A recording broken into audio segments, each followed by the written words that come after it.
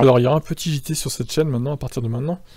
Peut-être pas tous les soirs, je vais voir, mais euh, normalement tous les soirs de la semaine. Résumons les actus de ma chaîne élective journalière et les actus journalières de Tib F1. Donc vous aurez tout sur une seule vidéo. Euh, pour vous permettre d'éviter de, passer d'une chaîne à l'autre et d'une vidéo à une autre. Tout sera résumé. Ici c'est simple, hein, je vais relier toutes les vidéos les unes aux autres avec un logiciel de montage et puis euh, du coup je vous balance ça sur Tip Stories tous les soirs vers 21h. Alors je, fais, je vais tester ça pendant 2-3 semaines, peut-être un mois, et si je vois que il n'y a pas trop de vues, que ça prend pas, bah écoutez, je vais euh, j'arrêterai. Mais bon, a priori, je pense que ça devrait marcher un minimum. Allez, c'est parti pour le résumé du soir. Allez, c'est parti pour le débrief de la course avec les interviews audio pour commencer comme d'habitude. C'est parti, allez go. En top 10 aujourd'hui, partez dernier, on vous le rappelle. Il est avec vous Laurent Dupin. Bah, félicitations Esteban, de 20e à 8e. Ils sont là ces points que vous annoncez tout à l'heure sur, la grille de départ. Comment vous avez vécu cette course? Ouais, ils sont là, ça fait, ça fait hyper plaisir forcément. Très content de, réussir à, finir dans le top 10. C'est clair que de où on partait, c'était pas une mince affaire. Euh, mais voilà, il faut toujours se, mettre des gros objectifs. Euh, et c'est ce qu'on a fait aujourd'hui. Et tout a été parfait, de la stratégie jusqu'au management des pneus. Euh, et ouais, un grand merci aux gars d'avoir réparé la voiture pendant la nuit. parce qu'il bah, y a eu beaucoup de boulot derrière, derrière les rideaux. et aujourd'hui, on arrive avec des points, donc c'est top. Depuis vendredi, vous disiez physiquement ça va être dur comme Singapour ou la Malaisie il y a quelques années. C'était comment finalement? Ben, Finalement, c'était plus dur que prévu parce que j'étais un peu cassé en quatre, euh, clairement. Donc, euh, donc ouais, dès le dixième tour, honnêtement, euh, c'était raide. mais voilà, j'ai survécu et, et ça montre bien que le travail qu'on fait physiquement, il est IP. Hein, parce que même en prenant 51 G hier, on arrive à finir la course intact. Donc voilà, il y avait des pilotes qui étaient en moins bonne posture que moi. Quel homme Il a fini la course intacte. Sacré Ocon. Bravo, bravo. En tout cas, Ocon, voilà, qui marque les points de la 8ème place. C'est bien pour lui. Gasly, Allez, on écoute Pierre Gasly maintenant. Pierre, on est désolé pour vous. Euh, ces, incidents, ce contact avec Norris et puis même votre voiture qui semblait en perdition quelques mètres avant, vous ah pouvez nous en parler simple, il y a Fernando qui m'a touché, qui m'a cassé la voiture. Et euh, malheureusement, après ça, c'était inconduisible, donc on a essayé de faire un autre tour. Euh, et on allait rentrer pour, pour abandonner dans le tour de rentrée. Et après, voilà, il s'est passé. Avec, avec Norris, je, tourne à droite pour l'éviter et il resserre et on se touche. Mais non, ce qui est dommage, c'est qu'on faisait une bonne course jusqu'à temps que Fernando nous nous, nous la voiture. Il a été pénalisé de, 5 secondes, donc clairement les, torts sont pour lui. Vous avez pu revoir cet incident et cette, lutte? Je n'ai pas, pas encore vu, mais euh, je voyais bien qu'il était, euh, il était très très loin au freinage. Il faudra revoir les images, mais euh, ce qui est sûr, c'est que ça, ça, voilà, ça nous a ruiné la course malheureusement. On était en 7 position, je crois, si je ne me trompe pas à ce moment-là. Enfin, on se bagarrait pour la 7 position, 7-8e position.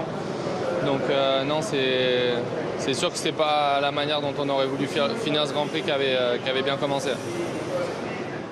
oui, une course à oublier hein, pour euh, Pierre Gasly, malheureusement, le français qui n'aura pas marqué de points.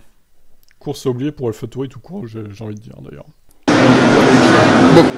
Fernando, enfin vous marquez des points, mais euh, il y a eu l'incident avec Gasly, vous avez été pénalisé de 5 secondes, vous pouvez en parler?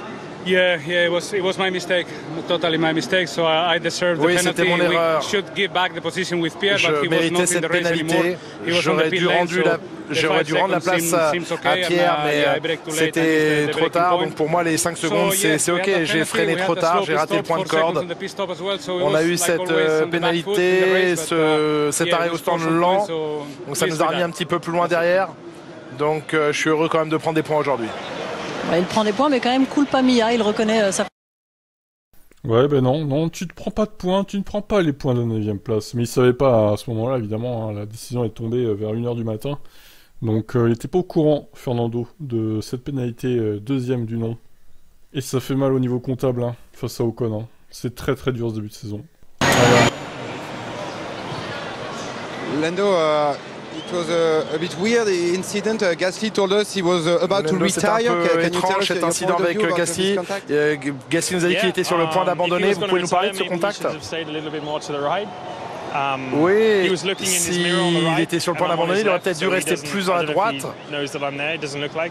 J'ai l'impression qu'il regardait à droite um, alors que moi j'arrivais sur sa gauche. Donc, euh, je ne sais pas, uh, j'ai laissé de la place, mais la piste tourne à droite. Uh, et il a continué à aller tout droit. Uh, je ne veux pas le blâmer. Peut-être qu'il avait des um, dommages sur sa voiture, c'est la course, je ne sais pas. Um, C'était juste euh, pas utile ce qui est arrivé. J'avais peut-être la possibilité de prendre quelques points aujourd'hui. Dommage. Vous avez évité les murs, hein, c'est complètement dingue. Comment vous avez fait ça Je n'ai aucune idée. J'étais, je, pensais, je m'attendais à, à, heurter le mur euh, assez violemment, mais bon, on a réussi à éviter ça. Um, il y a quelques uh, petites, euh, petits dommages sur la voiture, mais pas grand-chose, donc ça va. Uh, ça a quand même, quand même mis en dehors de, de la um, course. C'est difficile. C'est un week-end compliqué. Uh, on va essayer de tirer le positif de ce week-end, quoi qu'il en soit.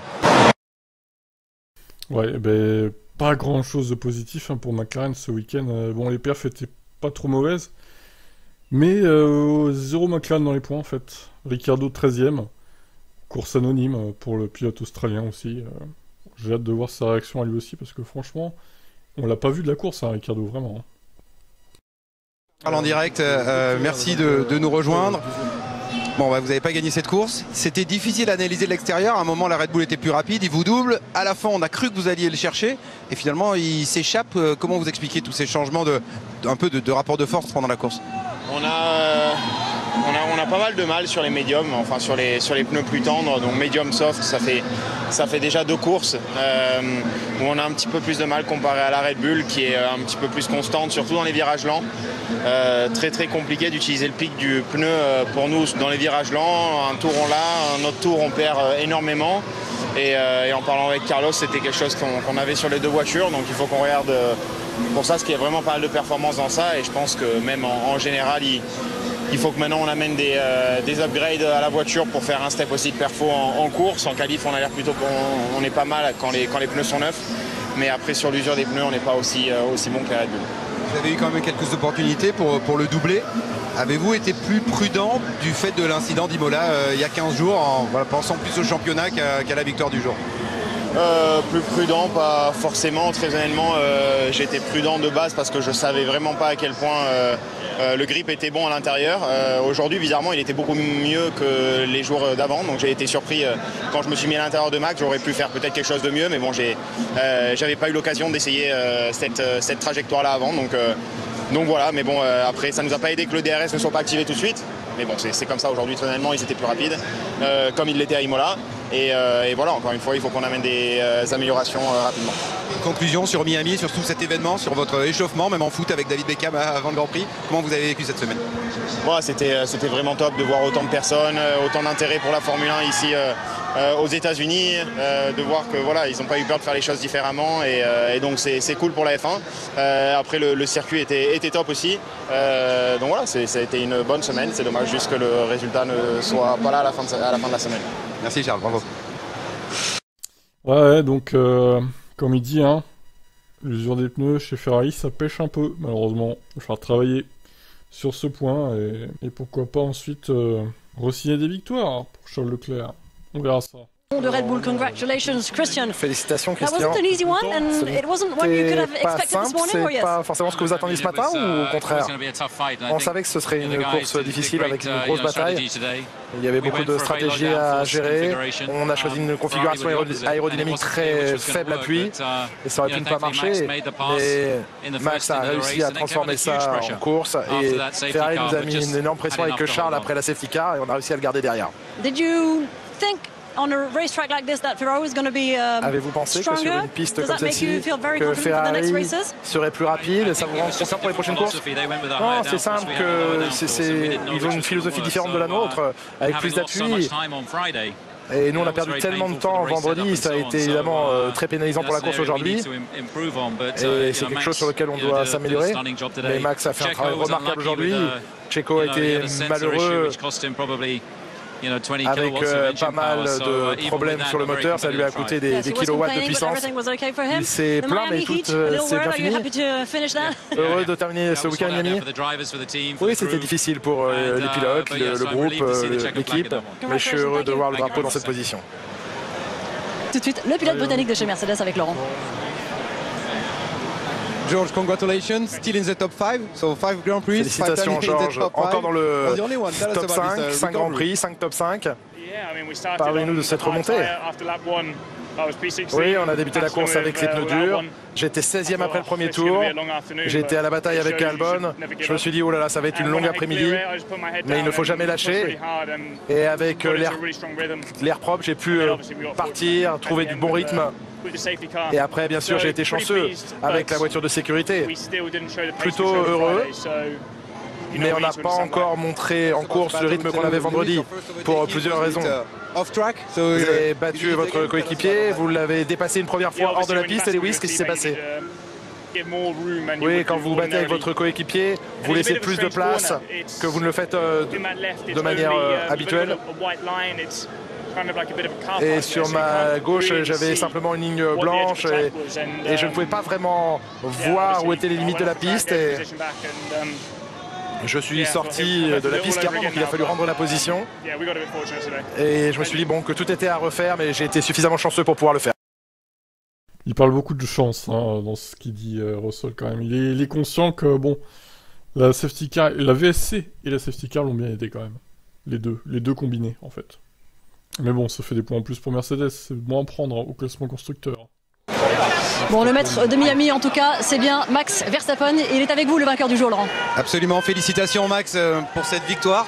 You had today to overtake the two Ferraris. Aujourd'hui, vous avez eu à dépasser euh, les deux Ferrari. Uh, Et c'est une victoire brillante aujourd'hui pour vous Oui, c'est jamais simple de dépasser deux voitures, surtout quand vous battez si proche. Mais c'était important d'en passer un au départ. Et ensuite, j'ai essayé de rester au contact de Charles. Il avait un bon rythme.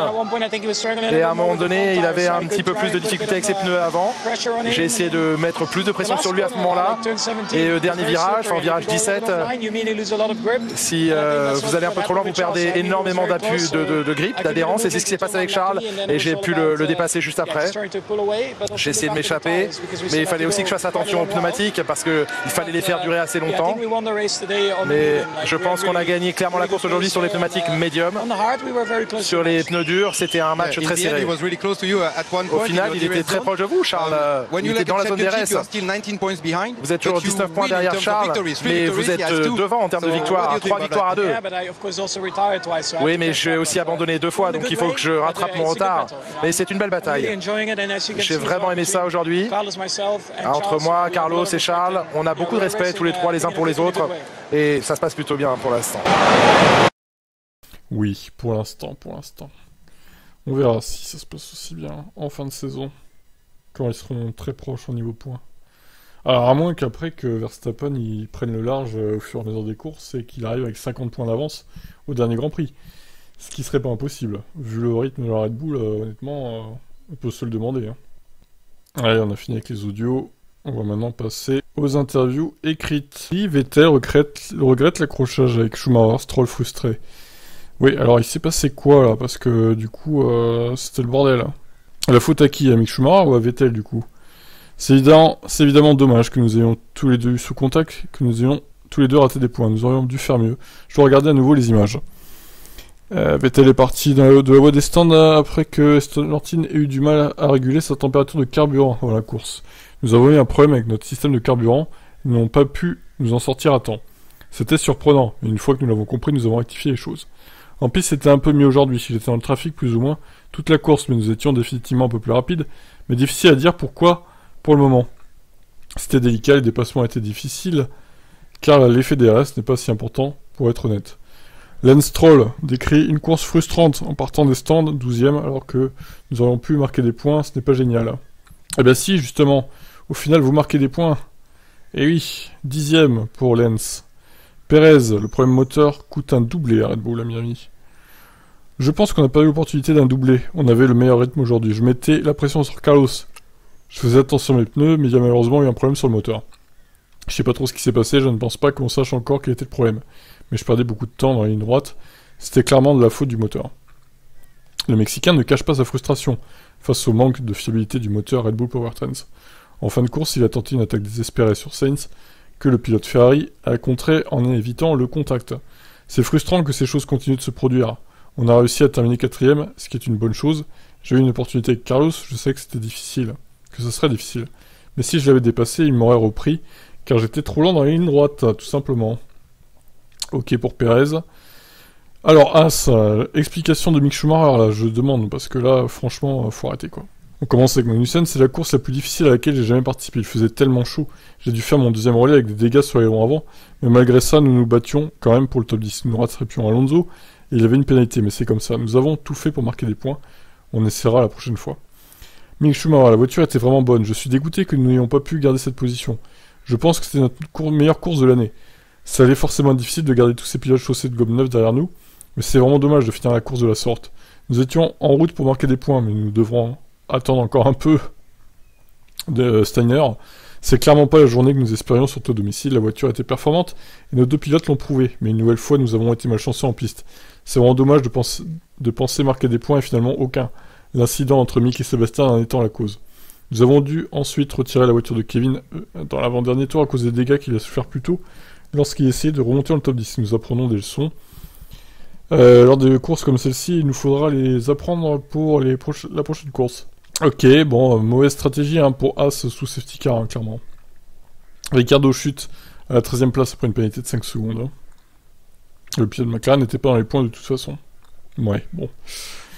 Après avoir examiné la vidéo de l'incident, les commissaires ont statué que, bien que la voiture de Ricardo était devant la voiture de Magnussen, au virage 12, elle n'a pu conserver cette position qu'en quittant la piste. Et en y retournant à côté de la voiture 20, et à côté de la voiture 20, qui a ensuite utilisé sa vitesse pour rester devant.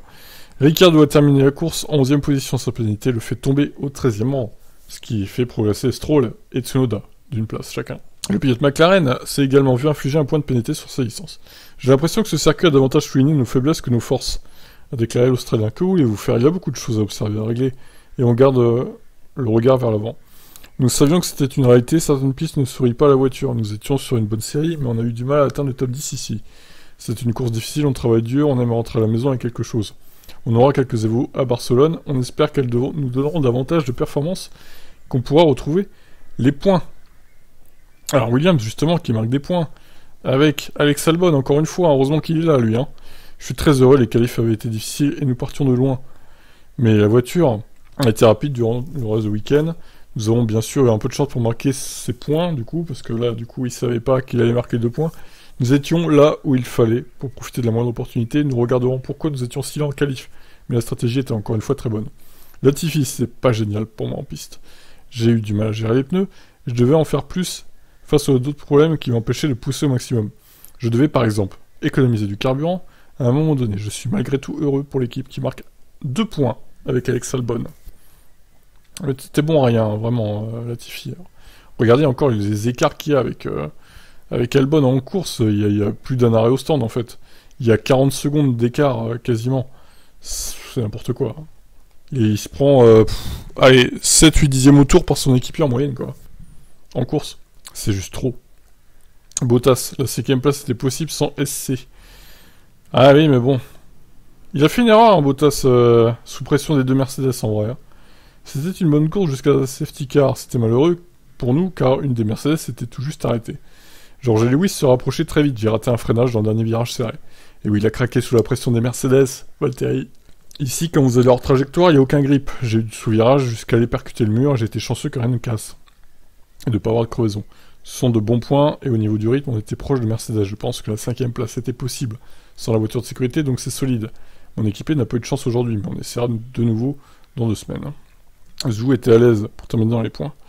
Malheureusement, on a dû abandonner à cause d'un problème technique sur le moteur. Je ne sais pas exactement ce qui s'est passé, mais c'était la bonne décision pour ne rien endommager du moteur. C'est malheureux, car j'avais fait de bons premiers tours, j'avais passé Daniel Ricciardo et d'autres pilotes devant. J'étais à l'aise pour terminer dans les points. Malheureusement, on les a encore manqués. C'est un week-end oublié.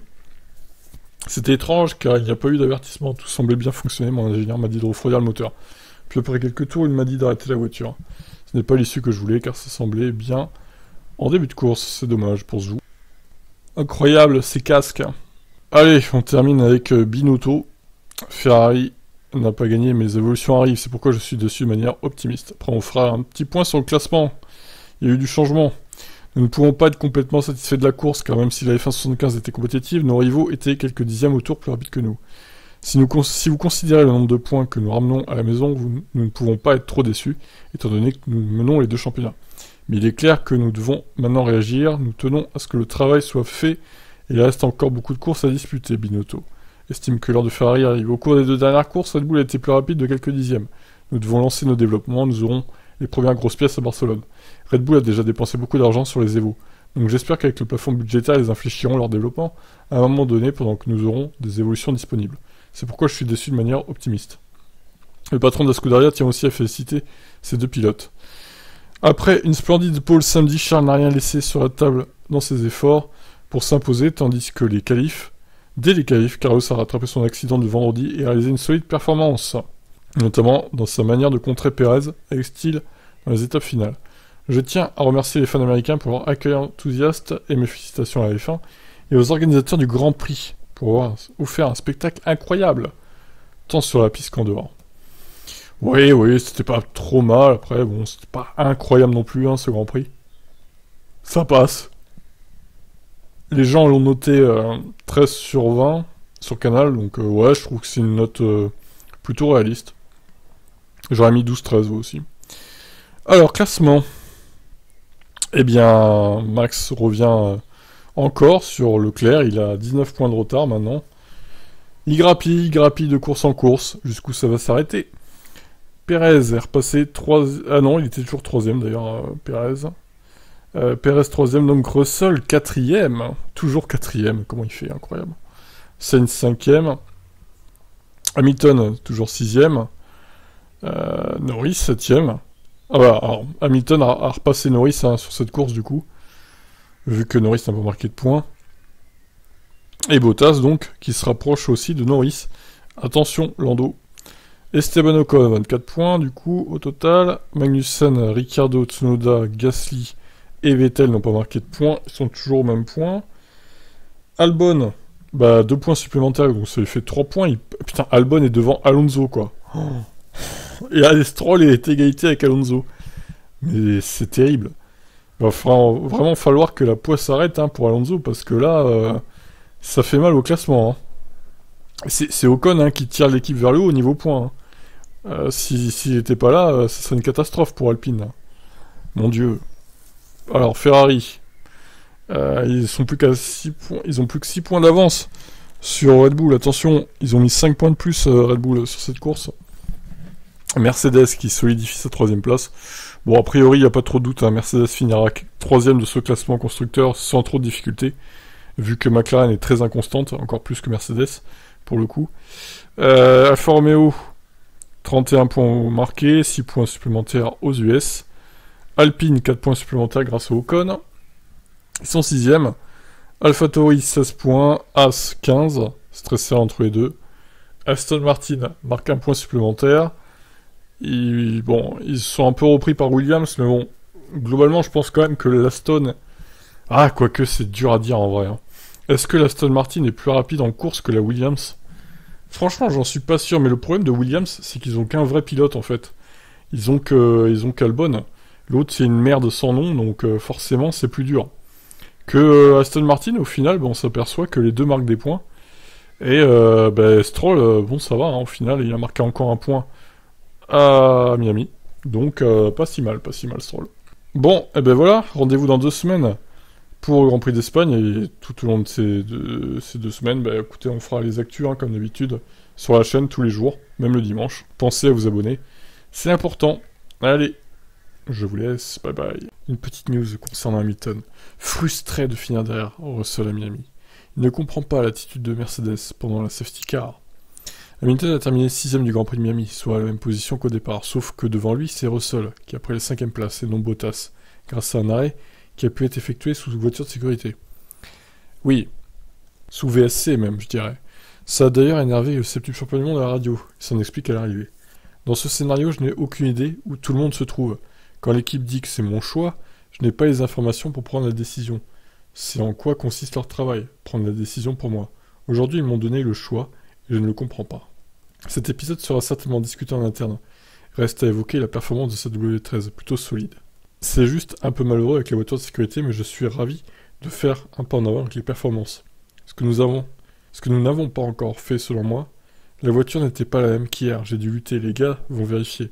Mais nous avons de bons points aujourd'hui, nous allons prendre ce résultat et passer à la suite. Alors est-ce qu'il n'aurait pas fallu euh, arrêter Hamilton euh, sous VSC aussi, comme Russell finalement, pour couvrir une éventuelle safety car et, se relancer euh, pour la fin de course avec du pneu frais Décidément, il y, a quelque chose qui va pas. Hein en ce moment avec les stratégies chez Hamilton. Alors certains diront que c'est de sa faute, c'était à lui de rentrer, mais bon, euh, comme il dit, il n'avait pas toutes les données. Euh, c'est pas un jeu vidéo, hein, il sait pas où sont les, chaque pilote, etc., les écarts, il les a pas en détail. Donc c'est compliqué quoi. Bref, il a de quoi être énervé puisque finalement il a fait un meilleur week-end que Russell globalement. Et au final, il se retrouve encore derrière, juste derrière en course. D'ailleurs, j'ai trouvé sa défense sur Russell assez euh, agressive hein, pour le coup. Il voulait vraiment pas finir de, derrière lui, mais bon, vu les pneus de Russell, il n'avait pas d'autre choix que de finir derrière. De toute façon, bon.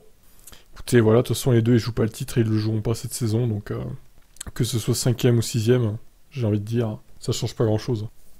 Vous en pensez quoi, vous? Ciao, ciao. Moto électrique, il traverse les USA en un temps record. Au guidon du moto électrique Energica, cet Américain est parvenu à rallier les deux côtes des États-Unis en 111 heures. Une performance historique. Le 22 avril, date de la journée de la Terre, Rob Swartz et Steven Day se sont lancés un défi un peu particulier, celui de traverser les US au guidon d'une moto 100% électrique. Parti de New York sur la côte est, Rob Swartz est au guidon d'une Eva SS9, tandis que Steven Day s'est lancé dans un trajet inverse en prenant le départ de Redondo Beach en Californie avec Eva Ribel.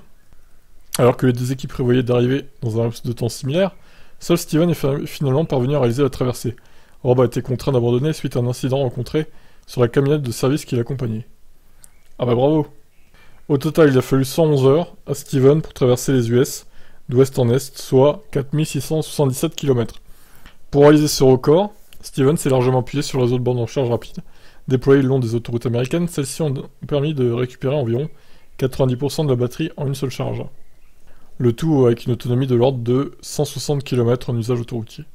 Steven Dunn n'est pas le premier américain à traverser les US avec une moto électrique. Fin 2021, Scott, Scott Harkless était déjà parvenu à boucler la traversée avec une 0 SRF. Le périple avait duré 112 heures, mais sur un parcours un peu plus court, 4095 km. Oui, effectivement. Donc là, il a mis une heure de moins avec 600, euh, quasiment 600 km de, plus à faire. Donc pas mal. Alors on peut calculer éventuellement sa vitesse moyenne. Hein. Allons-y, tant qu'on y est. Ça nous fait 42 km/h de vitesse moyenne. Sachant que, sachant que ça prend en compte les recharges, j'imagine. Par contre, évidemment, ça prend pas en compte les pauses, euh, les pauses dodo. Hein. il n'a pas conduit euh, pendant 111 heures d'affilée, forcément. Voilà pour cette petite anecdote des US.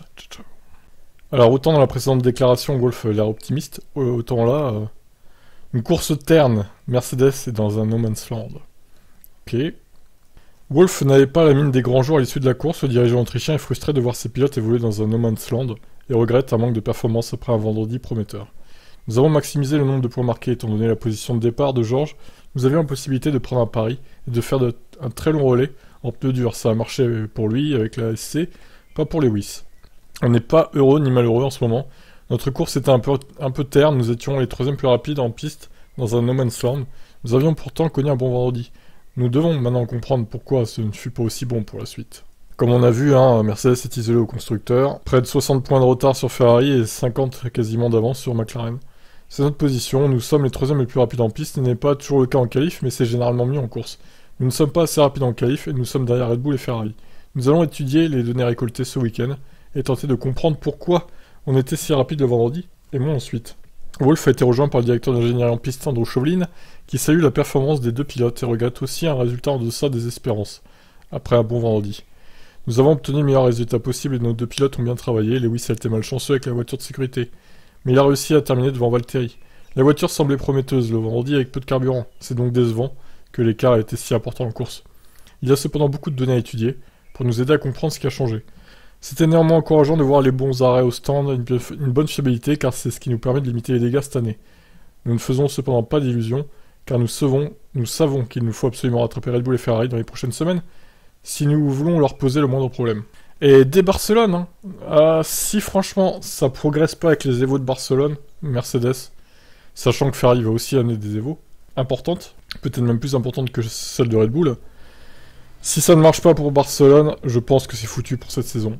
Pour Mercedes, ils seront condamnés à être euh, bah, au mieux 5 et 6 si les 4 premiers n'ont pas de problème, en fait, tout simplement. Par contre, s'ils arrivent à gagner, je sais pas, euh, on va dire 4-5 dixièmes au tour avec leurs évolutions, déjà ça pourrait être pas mal. Peut-être qu'ils pourront rivaliser pour les victoires régulièrement, ensuite. Mais là, bon, euh, après vous me direz, la saison est encore longue, mais bon. Je, la sens pas. Hein. Franchement, cette, cette saison, pour Mercedes, ça va être compliqué quand même. On verra bien. Qu'est-ce que vous en pensez, Tesla commence à expédier les modèles Y blancs de la Gigafactory de Berlin. Alors ça y est, il n'y a plus seulement les modèles noirs, il y a les modèles blancs maintenant. Plusieurs SUV modèles Y performance blanc ont été repérés quittant l'usine cette semaine à l'arrière d'un porte-voiture. Selon Marcus Schutti, qui a partagé la photo sur Facebook, le transporteur se trouvait sur l'autoroute A8 en direction de l'Autriche. Schutti a noté qu'il y avait aussi un deuxième camion avec plus de modèles Y blancs mais n'a partagé que la photo ci-dessous. Très bien. Il y a eu quelques autres observations de modèles Y blancs quittant l'usine cette semaine. Monsieur Wenzel a partagé cette photo sur Twitter d'un autre transporteur de voitures avec cinq autres modèles Y blanches sur A9, l'autoroute A9, sans préciser dans quelle direction il roulait. Le tracker de navire Tesla Morten Grove a également signalé que trois autres camions avec des modèles Y blancs ont été repérés voyageant vers l'ouest sur l'autoroute A2. En avril, on avait annoncé que l'atelier de peinture de la Giga Berlin avait ajouté de nouvelles couleurs à son répertoire et devrait bientôt ajouter trois nouvelles couleurs, Deep Crimson, Abyss Blue et Mercury Silver. The Paint Shop a récemment fait la une des journaux pour une autre raison. Le mois dernier, environ 15 000 litres d'un mélange de peinture se sont échappés. La fuite a été nettoyée par une entreprise d'élimination. Environ 2 à 3 litres de liquide peu dangereux se sont écoulés sur une route d'accès. L'incident a conduit le groupe environnemental Green League a demandé la révocation de la licence de Toujours, euh, toujours les écologistes extrémistes, là. C'est les pires, hein, vraiment. Les antinucléaires aussi, au passage. Vraiment débiles, hein. Bon, eh ben voilà, écoutez, euh, bonne nouvelle, puisque les modèles Y blancs vont être livrés dans quelques temps, du coup. Ciao, ciao. Alors, du vandalisme signalé sur un superchargeur euh, Cincinnati, donc. Une autre station d'Auckland également vandalisée des câbles de superchargeur coupés, littéralement. Putain, les mecs, euh, ils ont pas peur de se faire électrocuter en les coupant, quoi. Les câbles de charge étant vraisemblablement coupés pour le cuivre à l'intérieur. À Cincinnati, la station de superchargeur a été endommagée deux fois en une semaine. Oh là là. Tous les câbles de charge sauf 4 ont été coupés. La raison pour laquelle 4 n'ont pas été touchés était que ces stalles seraient, seraient visibles depuis une caméra de sécurité à proximité. Un technicien de Tesla était sur le site lorsque les photos ont été prises et a déclaré au Redditor qu'il venait euh, de remplacer les câbles de la veille, la veille après qu'ils étaient coupés euh, pour la première fois plutôt cette semaine. Des photos et des vidéos des dommages montrent que les câbles ont été coupés proprement, environ un pouce de l'endroit d'où ils sortent du piédestal, montrant que les voleurs étaient probablement après le cuivre à l'intérieur pour le revendre à la Ferrari. C'est vraiment... Euh, c'est infernal quoi. Oh là là. Bon, j'imagine que il n'y a, pas de risque de se faire électrocuter quand tu coupes un câble comme ça, vu qu'ils sont pas alimentés euh, avant que. Ils sont alimentés que quand tu branches la voiture, donc euh, effectivement, euh, a priori, il n'y a pas de risque de se faire électrocuter, je pense. Alors, c'est pas fini. Une autre station superchargeur a été endommagée lors d'un incident distinct à Oakland, en Californie, cette semaine. Une vidéo partagée par Pixie sur Twitter montre qu'au moins 7 câbles de recharge ont été coupés un superchargeur urbain dans un parking souterrain. Cependant, cet incident semble être davantage un cas de vandalisme car les câbles ont été coupés à plusieurs centimètres du piédestal. Alors voyons la vidéo. Ah ouais, d'accord. C'est marrant, ils sont pas pareils, hein, les superchargeurs urbains, du coup. Oh là là. Ça, c'est peut-être des anti-Tesla, du coup, hein, qui ont fait ça.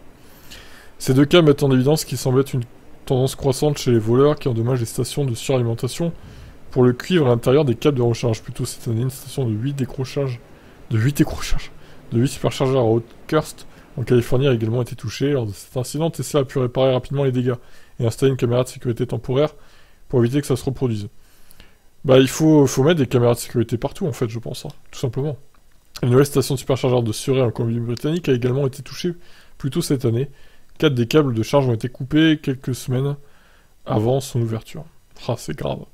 Je sais pas s'il y a des cas comme ça en France euh, et dans les pays d'Europe, mais euh, en tout cas, euh, c'est vraiment pas cool, quoi. T'arrives à ta station, tu veux te recharger, tu vois que les câbles ont été coupés. Super Génial. Qu'est-ce que vous en pensez? Ciao. Des chercheurs trouvent le moyen de réduire le coût des batteries. Alors, qu'est-ce donc que ça encore? L'industrie tente de réduire le coût des batteries lithium-ion de plusieurs façons. L'une d'entre elles est la possibilité de construire des batteries avec des quantités toujours plus faibles de terres rares et de métaux précieux. Facile à dire, difficile à faire. Mais une équipe de chercheurs de l'Institut de recherche sur les matériaux de l'université de Tohoku, dirigée par le professeur Tetsu Ichitsubo, a adopté une méthode innovante qui pourrait apporter des avantages considérables à cet égard. L'étude des chercheurs japonais part du constat que les matériaux utilisés dans la production des batteries lithium-ion et en particulier des électrodes, doivent former une structure cristalline compatible avec le passage des électrons d'un pôle à l'autre de la cellule. La composition chimique de cette structure être modifiée par l'ajout de métaux et de matières premières de différentes natures afin de réduire les coûts de production. Jusqu'à présent, cependant, le pourcentage autorisé de ces matériaux de remplissage était assez faible, et dépasser certaines valeurs aurait compromis la structure cristalline et par conséquent les performances. C'est là qu'interviennent les scientifiques de l'équipe du professeur au nom prononçable, qui cherchent un moyen d'augmenter le rapport entre les matériaux nobles et les matériaux bon marché. Ils ont trouvé ce résultat en exploitant l'entropie configurationnelle des matériaux, qui est la propriété qu'ont divers matériaux de s'agencer de manière aléatoire dans l'espace. Ils ont ainsi pu créer une nouvelle poudre contenant une plus grande proportion de métaux bon marché en réduisant considérablement l'utilisation de cobalt et du nickel. Notre approche ouvre la possibilité d'utiliser des matériaux qui n'ont pas encore été adoptés à l'heure actuelle et permettra d'optimiser la structure des électrodes grâce à une utilisation plus intensive de matériaux bon marché et facile à trouver qui n'interfèrent pas avec la structure cristalline nécessaire au bon fonctionnement des batteries, a expliqué Ichitsubo.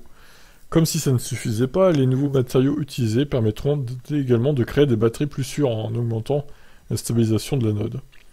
L'étude de l'équipe japonaise, qui n'en est encore qu'à un stade préliminaire, vise maintenant à parvenir à la production à grande échelle de cellules capables de garantir les mêmes perfs et la même durabilité que les batteries traditionnelles en développant de nouvelles formules chimiques. Très bien. Bah, c'est un petit peu la, la batterie révolutionnaire de la semaine, ça. Hein Vous en pensez quoi? Encore des annonces fracassantes. Ciao, ciao. Des BMW sont expédiés sans Android Auto et Apple CarPlay pour éviter des retards de livraison. Ah, c'est un peu dommage. BMW expédie temporairement certains nouveaux véhicules sans support Android Auto et Apple CarPlay après avoir changé de fournisseur de puces, mais les voitures devraient recevoir une mise à jour d'ici quelques mois pour corriger ce problème. C'est la deuxième fois que BMW fait des concessions sur ces nouvelles voitures puisqu'il avait déjà privé certains modèles d'écran tactile à cause de la pénurie. Les clients avaient reçu un bon d'achat de 500 euros, mais il semblerait que les clients impactés n'ont droit à aucun dédommagement cette fois-ci. Bah, disons que s'ils le font plus tard en mise à jour, bon, ils vont pas les dédommager quoi. Il ne s'agit pas du premier fabricant à livrer ses voitures sans certaines fonctionnalités importantes. Tesla avait par exemple expédié certaines Model 3 et Model Y sans port USB. Dans un courriel adressé aux clients concernés, le constructeur automobile allemand a confirmé que certains véhicules construits entre janvier et avril de cette année contiennent des puces qui nécessitent une mise à jour du logiciel afin de pouvoir offrir CarPlay et Android Auto. BMW n'a pas dévoilé combien de véhicules étaient concernés par ce changement de puce ni les modèles impactés. Cependant, les voitures qui ne disposent pas d'Android Auto ou de Apple CarPlay devrait avoir un code de production avec la désignation 61P. D'après plusieurs propriétaires de voitures BMW sur les forums automobiles, il semblerait que les véhicules français, italiens, espagnols, anglais et américains soient désormais dépourvus de deux systèmes de faux divertissement d'Apple et de Google. Heureusement, pour tous les propriétaires impactés, BMW a déclaré à Automotive News Europe qu'il installerait les fonctionnalités logicielles via une mise à jour à distance d'ici fin juin. Voilà donc pour cette actu. Ça concerne évidemment les voitures électriques de BMW pas que les thermiques.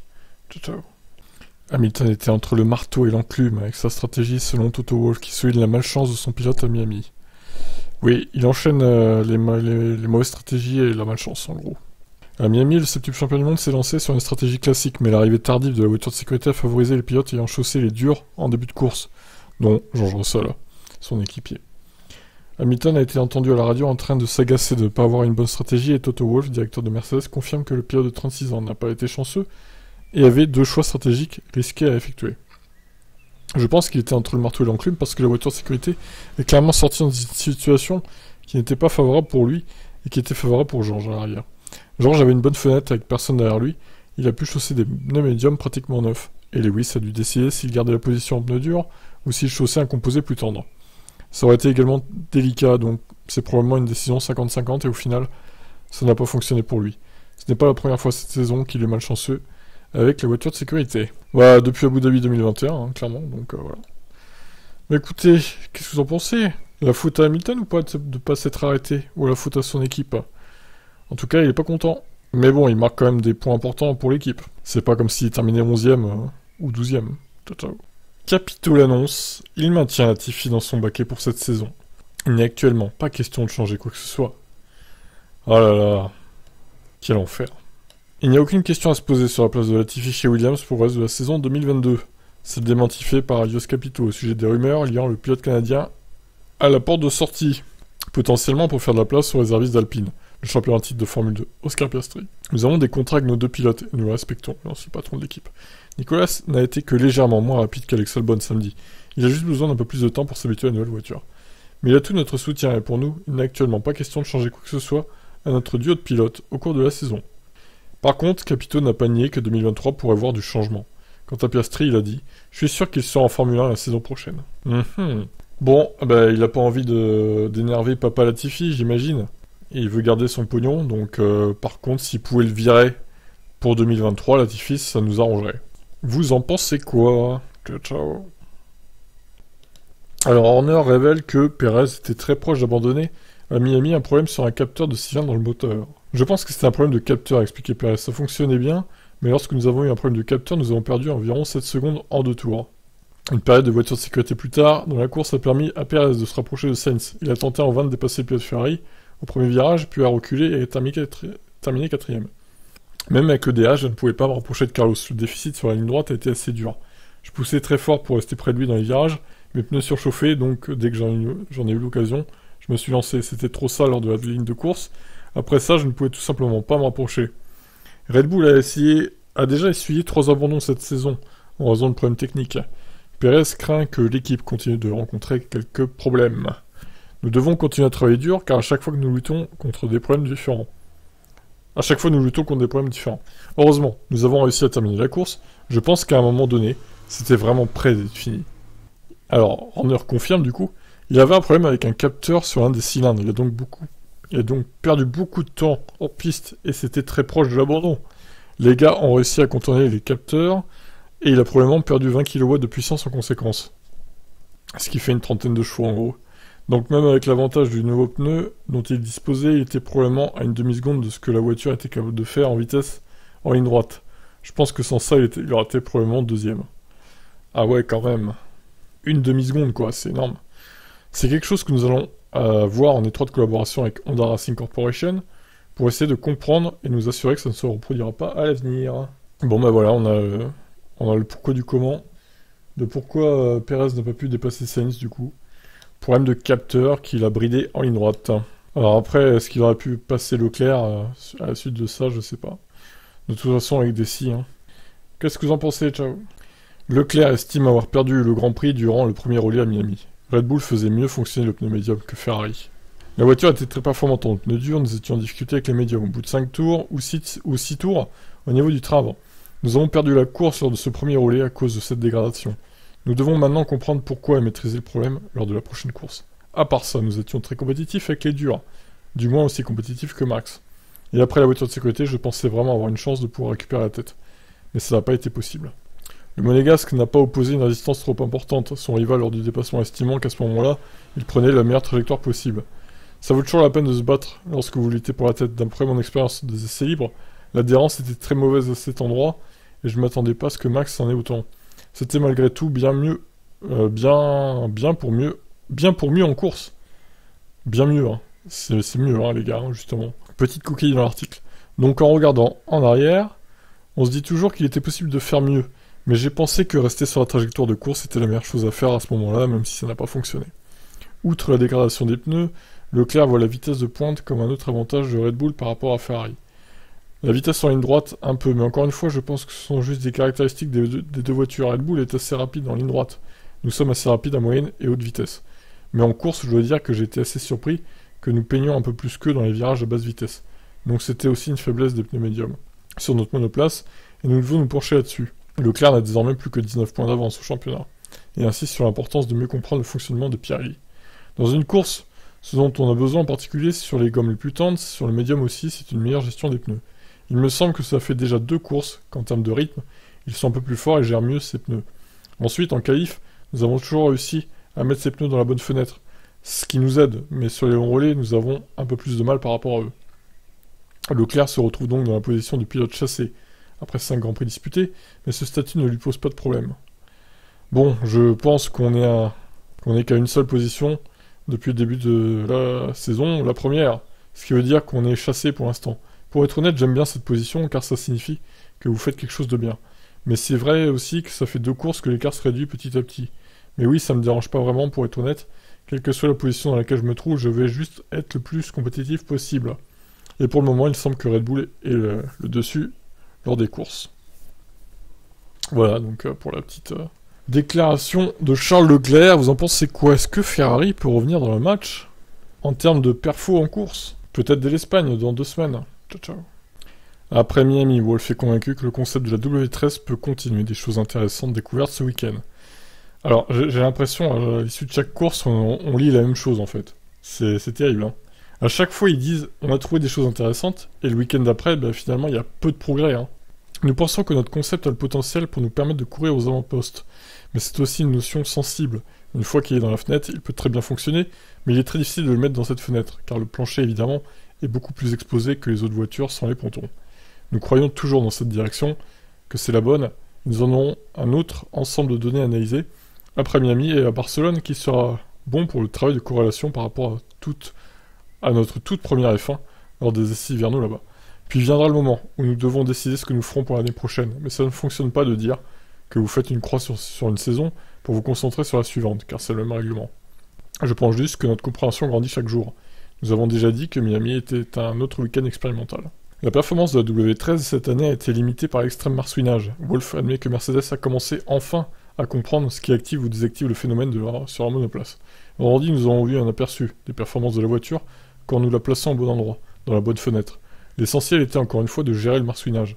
Et c'était bien vendredi. Ensuite, nous avons essayé quelque chose qui ne semblait pas être un grand changement et qui a gravement affecté la voiture et nous a pénalisé jusqu'au bout du week-end. Mais pourquoi vous avez fait ça? Quel enfer. Nos pilotes ont encore souffert avec des rebonds. Ils ont un tel effet sur les zones de freinage et sur ce que font les pneus, l'apprentissage est exponentiellement difficile en ce moment. Voilà pour la petite intervention de Wolf. Bah écoutez, euh, en tout cas 5 et 6ème, ça limite encore la casse, on va dire, au championnat. Je pense honnêtement que Mercedes finira 3 du championnat constructeur. Hein. Il y a peu de chances qu'ils finissent 4 ou voire 5 Et peu de chances qu'ils finissent euh, premier ou deuxième. Hein. Honnêtement, ça va être compliqué. Donc troisième, oui, euh, troisième constructeur, c'est leur place, je pense, cette saison. En espérant qu'à Barcelone, ça ira mieux, qu'ils seront un peu plus proches de Ferrari et de Red Bull. Toto Wolff révèle que la FIA a demandé un échange de position entre les deux Mercedes, après que Russell ait dépassé Hamilton. Alors on l'a pas entendu Tout simplement pourquoi? Parce qu'ils ont enlevé les communications de la FIA envers les équipes. Ça c'est dommage. Il n'y a pas eu de dialogue avec la FIA et je pense que ça doit être ainsi. Nick Wolf, c'est la FIA qui est venue vers nous, qui nous a demandé d'inverser les positions. Russell recevait ainsi de la part de son ingénieur, Riccardo Musconi, une consigne à la radio. Nous avons besoin de rendre la position à Lewis, car nous étions en dehors de la piste quand nous l'avons dépassé plus tu lui rendras sa position tôt, plus tu auras une chance de, pouvoir attaquer. Mercedes aura en tout cas laissé ses deux pilotes se battre jusqu'au bout. Russell ayant bien reçu, la confirmation qu'il pouvait attaquer son équipier si tôt après lui avoir rendu la position. Le plus jeune des deux Britanniques était d'ailleurs satisfait après une lutte respectueuse avec Hamilton. Vous devez bien sûr laisser plus de place que d'habitude lorsque vous vous battez face à votre équipier. C'est vraiment difficile de voir, limite de piste dans ce virage. Il n'y a qu'une ligne blanche. Lorsqu'ils m'ont dit d'échanger les positions, c'était bien sûr un peu frustrant car j'ai rattrapé ceux qui étaient devant moi, mais heureusement, nous avons rejoint l'arrivée en un seul morceau. Il aurait pu manquer que les deux Mercedes s'accrochent encore, alors là, ça aurait été le pompon. Voilà, donc, euh, bon, on l'a pas vu, hein, parce qu'ils ont montré un replay, mais on l'a pas vu, ils étaient trop occupés à se, concentrer la réalisation sur, Charles Leclerc et Max Verstappen, euh, forcément. C'est vrai qu'en fin de course, ça bougeait pas mal aussi, même derrière. Donc la était un peu débordée, on va dire. Voilà pour cette news. Ciao, ciao. Alonso perd ses deux points à Miami. Alors ça, c'est con. C'est tombé il y a 1h21 cette nuit, donc. Euh, comment ça se fait? Parce qu'il s'était déjà pris une autre pénale de 5 secondes, et pourquoi ça n'est repris une du coup? Il a perdu sa 9ème place sur du Grand Prix de Miami de Formule 1 après avoir reçu une deuxième pénalité de 5 secondes. Dans les dernières étapes de la course, le pilote alpine tentait de limiter les dégâts de sa pénalité de 5 secondes pour être en entré en collision avec euh, Gasly. Donc, cette pénalité a été appliquée au drapeau à. Elle l'a placé derrière son équipé Ocon. Mais il était toujours 9ème, devant Albon, juste devant, pour quelques dixièmes de secondes. Alonso a maintenant été rétrogradé à la 11ème place avec une deuxième pénalité de 5 secondes. Il a reçu un point de pénalité sur son permis.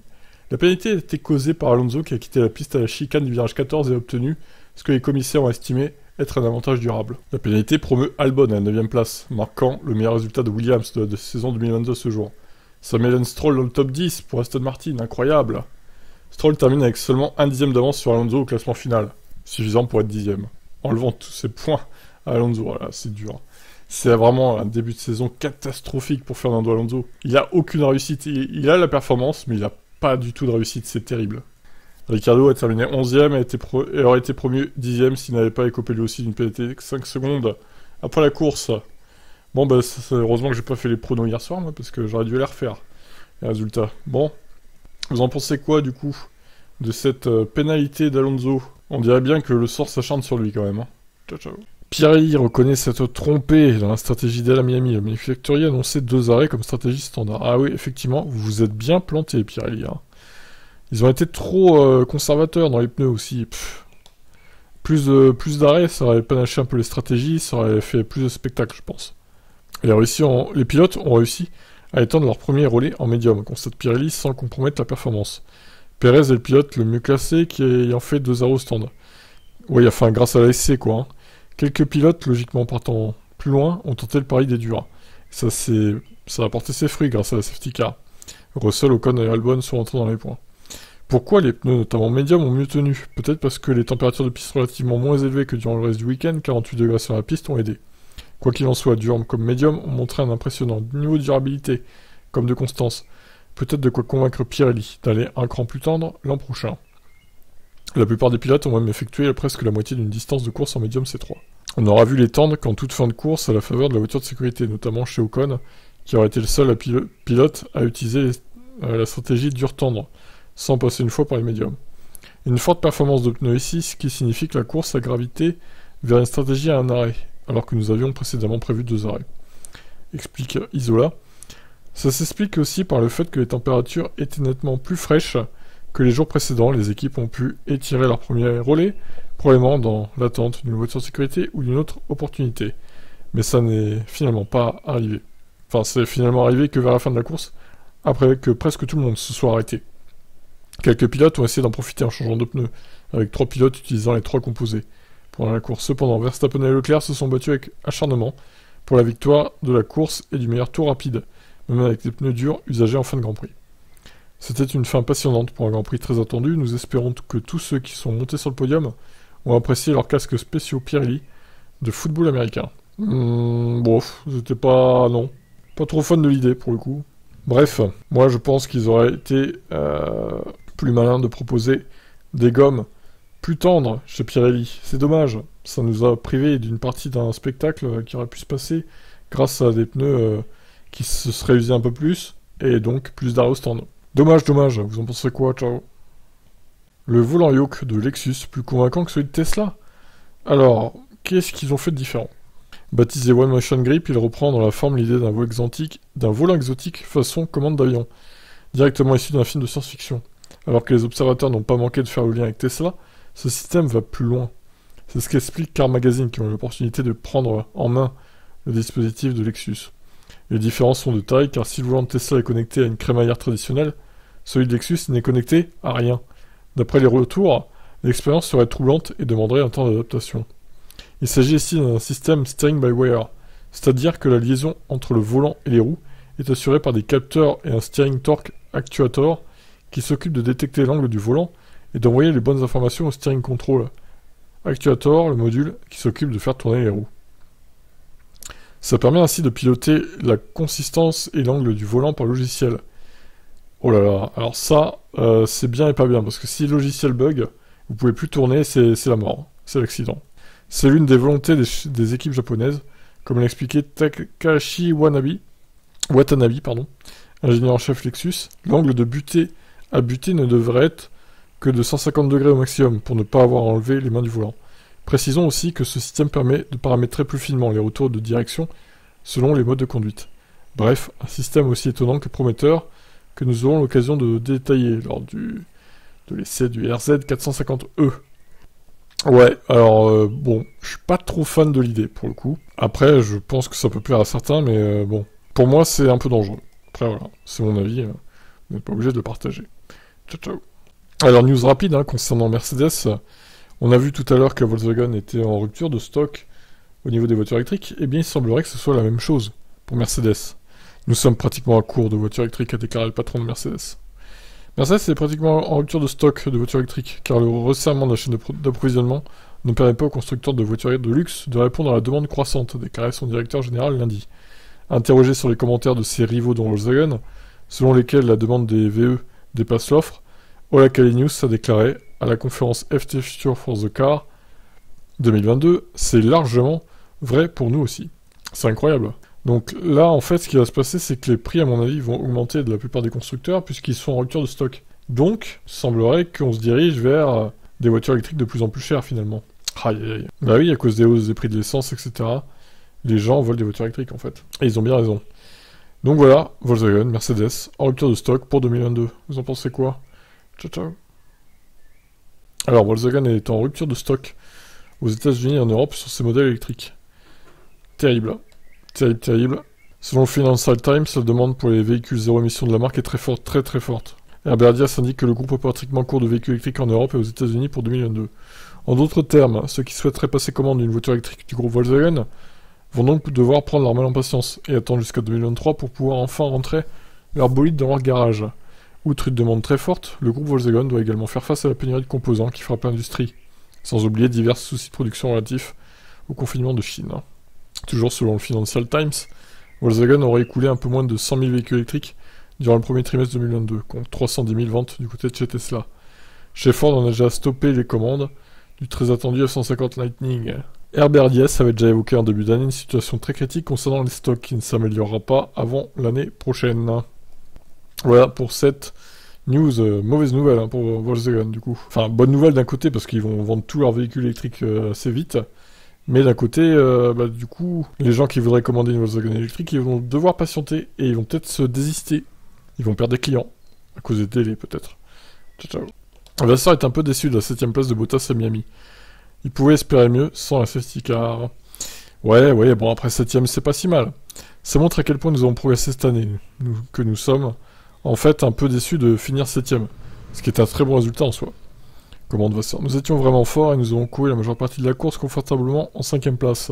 Juste derrière les deux Red Bull et les Ferrari. Le timing de la voiture de sécurité nous a vraiment affecté, annulant l'avantage de Valtteri sur les deux Mercedes. Pourtant, ramener 6 points à la maison est un résultat positif pour notre classement au championnat. Mais nous savons que nous pouvons encore nous améliorer. C'était décevant de perdre Zou en début de course à cause d'une fuite d'eau, car on sent qu'il aurait été dans la bataille pour quelques points. Il va falloir régler le problème qu'il a arrêté et faire en sorte de revenir plus fort sur la fiabilité aussi. La direction que nous prenons est cependant claire et positive. Nous savons que nous pouvons être compétitifs chaque week-end et nous visons à nous battre pour obtenir de meilleurs résultats lors des prochains Grands Prix. Bah, il a fait une erreur, hein, Bottas, en même temps, voilà, il a, eu la pression des deux Mercedes derrière lui, il a fait une erreur. Décidément, à chaque fois qu'il a Hamilton euh, pas loin de lui, euh, bon, en général, il a la pression, hein, et il fait une connerie. Ça n'a pas, ça n'a pas loupé encore sur cette course. Vous en pensez quoi, Chuck Marco, le titre se jouera entre Verstappen et Leclerc cette saison. Sans deck. Max n'a pas commis la moindre erreur. Il a piloté de la meilleure façon possible. C'était vraiment difficile de résister à la pression. Une grande course de sa part. Il y a eu deux moments décisifs. D'abord, Max est parvenu à dépasser Sainz au départ. Ensuite, il a réussi à tenir le rythme de Leclerc pendant que celui-ci surchauffait ses pneus. Il a fini par le dépasser et a prouvé pourquoi il était champion du monde. Nous pouvons toujours compter sur lui et il est capable d'être très performant dans des conditions difficiles. Ça va l'air facile pour lui jusqu'à l'entrée de la voiture de sécurité en piste. Nous sommes au même niveau que Ferrari. Ce sont les conditions de la piste et les pilotes qui font la différence.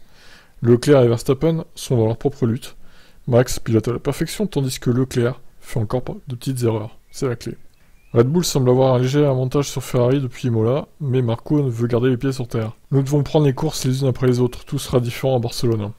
Après la course en Australie, nous avions plus de 40 points de retard, et je disais alors que ça pouvait dans un sens comme dans l'autre. Maintenant, il n'y a plus que 19 points. C'est très serré, ça va dépendre des circuits. On aura une énorme bataille entre Max et Leclerc. Donc il enterre pour le titre Perez et, et Sainz, hein, du coup. Regardez, Leclerc dépité de terminer deuxième encore une fois. Ciao ciao.